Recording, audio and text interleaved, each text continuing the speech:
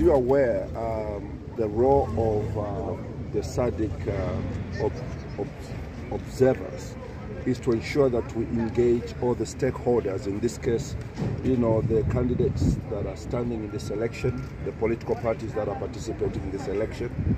And uh, we had the honor to meet the Secretary General of the, you know, the ZANU PF, uh, together with his team and our team.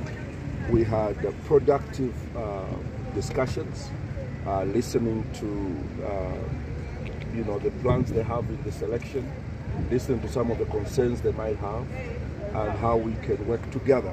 You know the observers and also the participants. But we leave the meeting uh, extremely encouraged that uh, they have made a commitment to things that matter to all of us, including the Zimbabwean people, to ensure that we work together to maintain the peace uh, in the nation during this process, to ensure that we all continue to adhere to uh, you know, the regulations that guide the elections uh, in order to have an outcome you know, that can be sustainable, acceptable to all Zimbabweans and to all those that are interested like us in the SADC.